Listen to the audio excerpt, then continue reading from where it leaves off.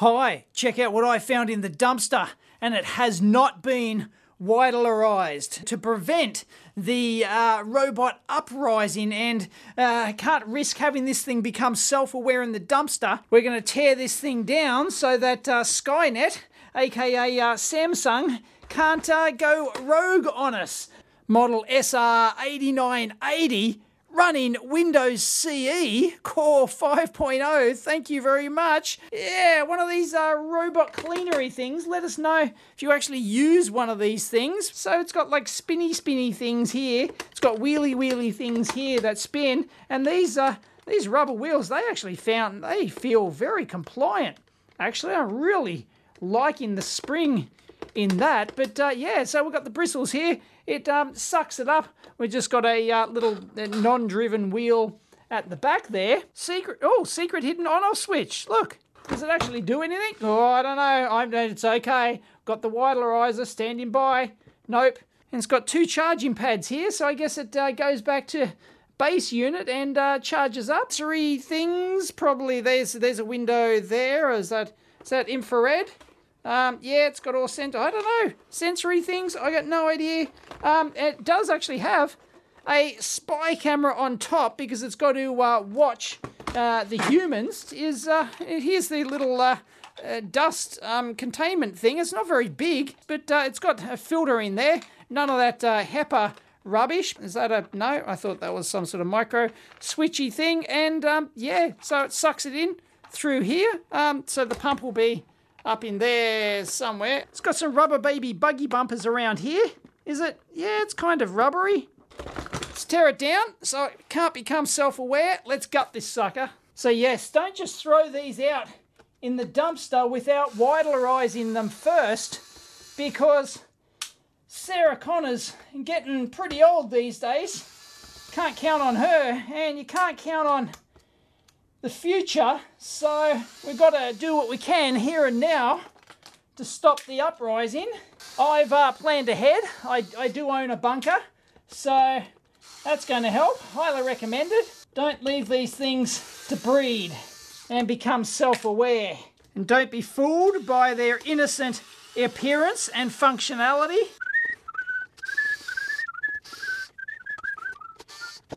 Let's have a look.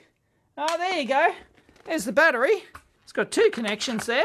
31.7 watt hours. And you can't just rely on taking out the batteries either to stop the robots. You don't know what sort of hidden power source they've got in them. Interestingly, that pack looks openable. Uh, might try that later. It's got a USB port down there for the Skynet update. And I'll tell you what, the uh, Cyberdyne division of Samsung have really built this like a brick dunny. It's not going to come apart without a fight. Got these interesting looking rubber plugs here. Is that some sort of thing holding this in? Because I can't get this uh, played out. Wonder if the rubber baby buggy bumper just comes off. Oh yeah, looks like it might. Well, it deserved it. That had a flat flex in it. What was under there? That's really interesting. What is that? That's not, neither of those are a transparent window.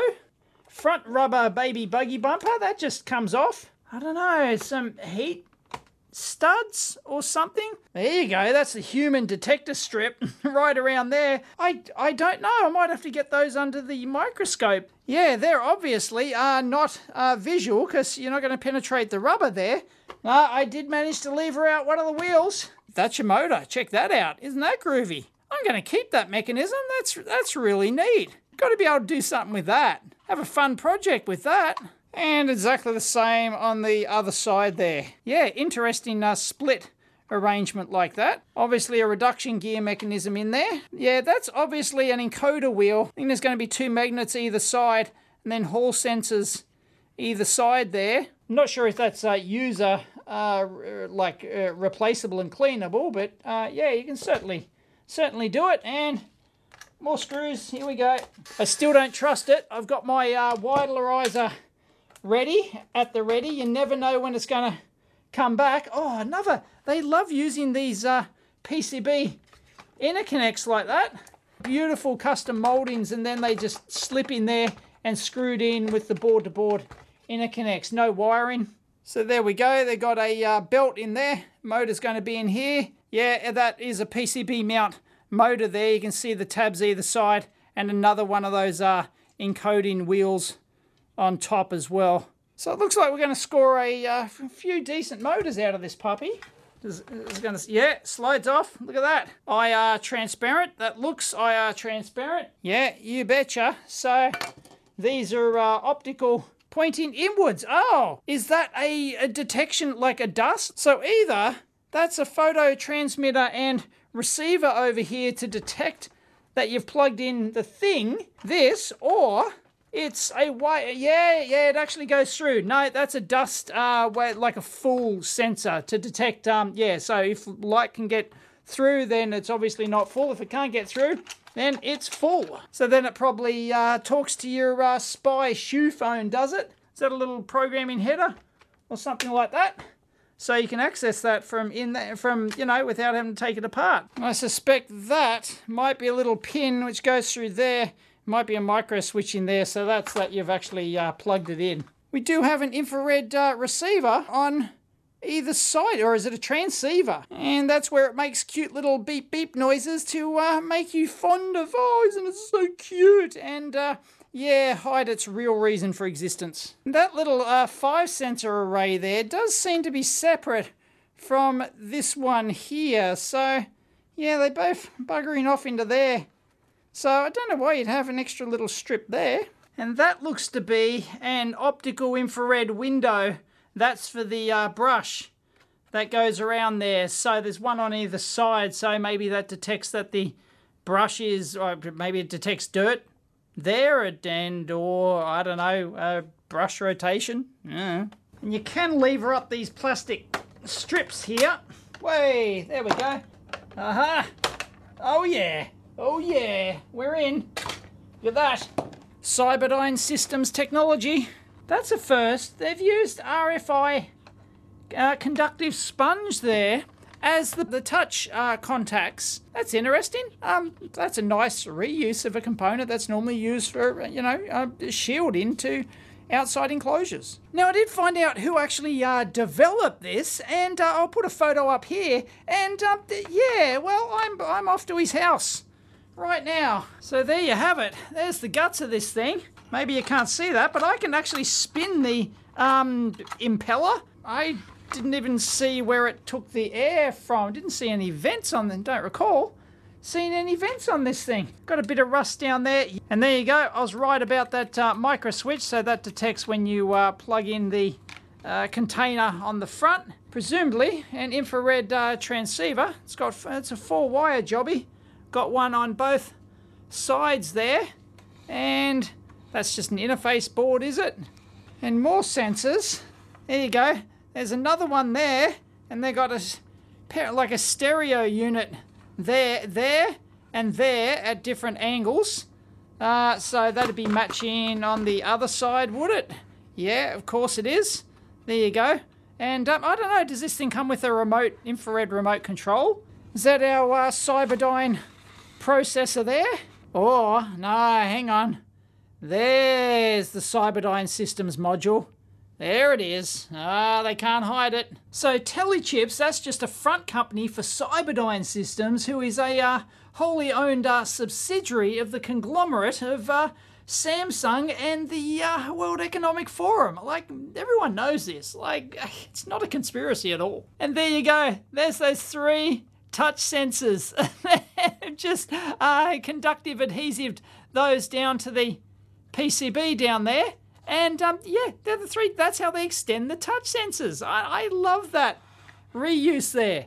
That is fantastic. So there you go. There's one of our two uh, motors for those little uh, brush spinner things there. They're not a direct uh, connection. It goes through some sort of reduction uh, gear mechanism. Aha, that thing on the top, that's actually a LED. There you go. It's just a LED indicator. More of those um, infrared transceivers there.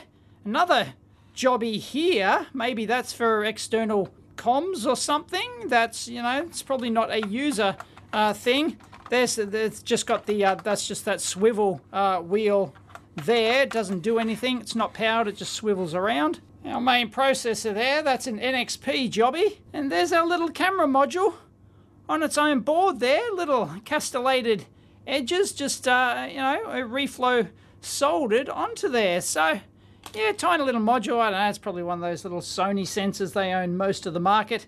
They're all part of the conglomerate.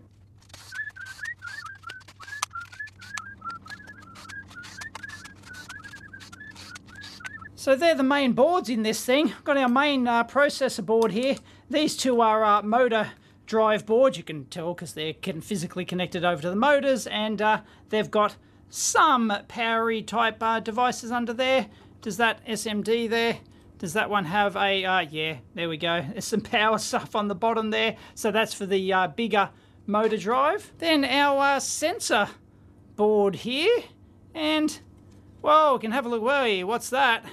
What's that? Special Cyberdyne's can? Micro Infinity CruizCore. Interesting. Anyway, you can see the huge sensor array all the way around that. Now, interestingly, this rusty bit we've got over here, this is just a weight. It's a uh, weight to balance out because on this side, we've got the motor for the brushes and that's got a certain weight and then that's going to like imbalance uh, the weight profile of this thing. So they need to balance you know, uh, balance it all out. So they've calculated what size weight they need, like steel weight, and they've whacked that in there. It doesn't matter if it rusts, of course. Um, yeah, you just need to balance it out. So that's nice attention to detail and probably necessary um, from an like a positional accuracy uh, point of view, because you can't you can't have like an imbalanced uh, robot and try and drive it around. The uh, the inbuilt uh, inertial measurement unit that we'll uh, take a look at, um, you know, internal gyroscope needs to know where it is, and if you you know if it's unbalanced and things aren't going right, all your little errors can like accumulate over time,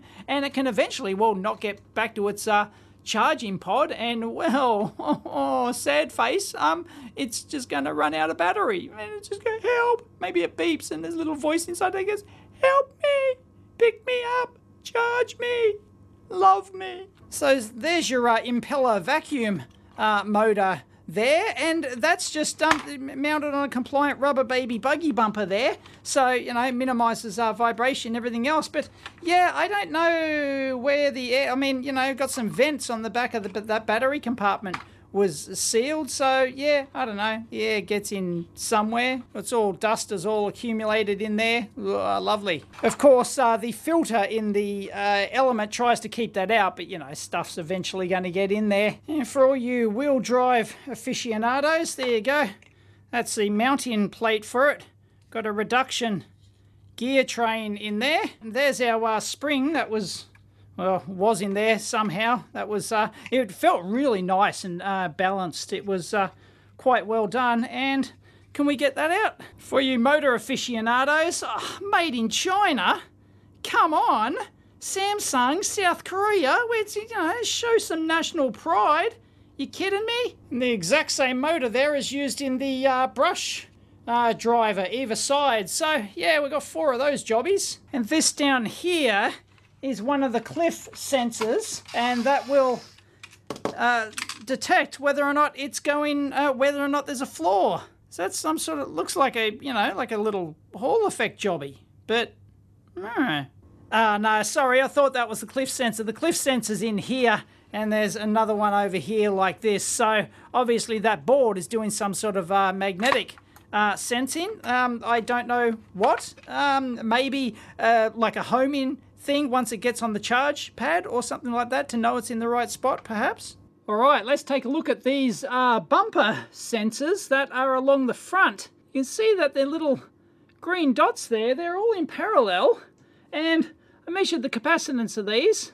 And uh, they're only, you know, tens of puff.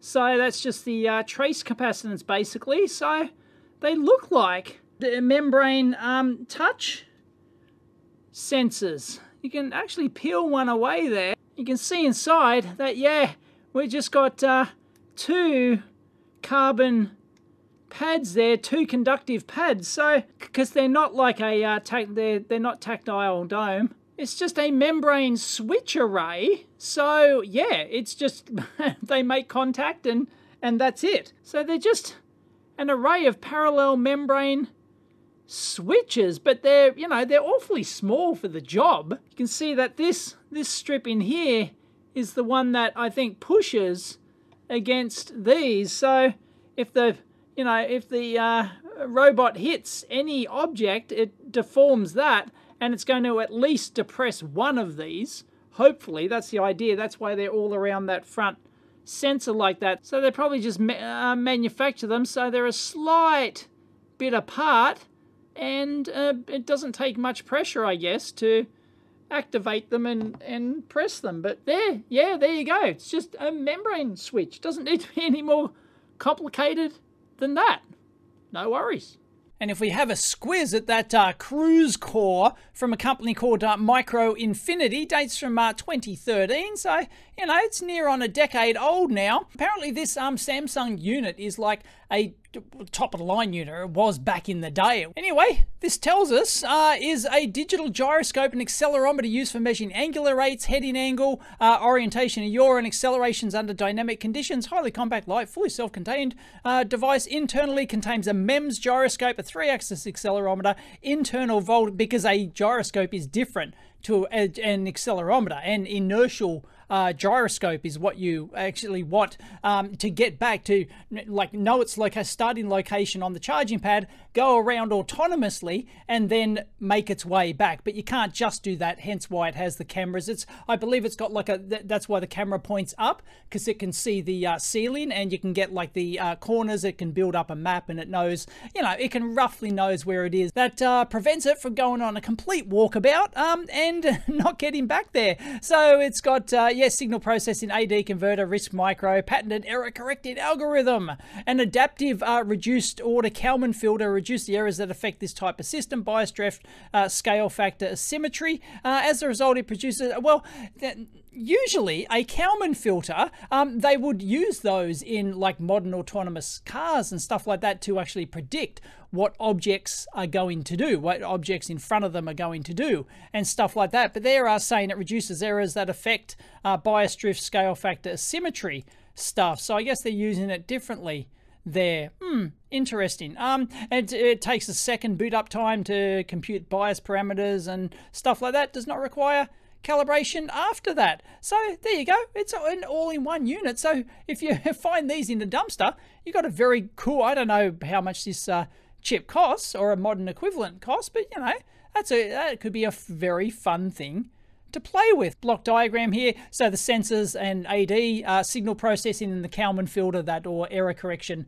filter. So that all, um, yeah, it's not actually doesn't seem to be predicting where object what objects are going to do moving objects because I guess there's only humans and pets and stuff walking around. It's not too busy unlike an autonomous car which has everything um, including like light poles just jump out at you. There you go very simple. It's just got an I squared C and a um, SPI interface. Geez that might be interesting. I wonder if you could see anything if you took if you decanned it. I'm not going to do that in this video but leave it in the comments down below. If you want me to try and somehow get the can off that sucker. This is a very limited application.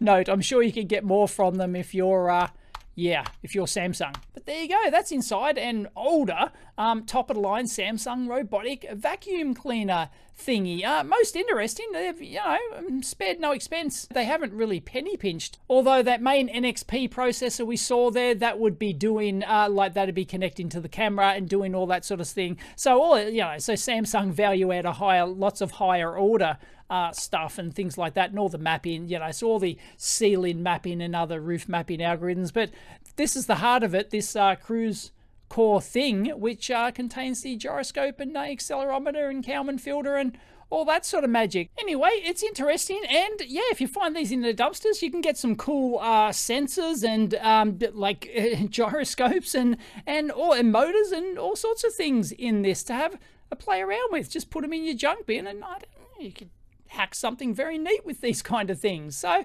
anyway, I hope you enjoyed that dumpster dive diving teardown. If you did, please give it a big thumbs up. As always, discuss down below. And yes, do not throw these out. Widlarize them or tear them down before you throw them out. We don't want them uprising.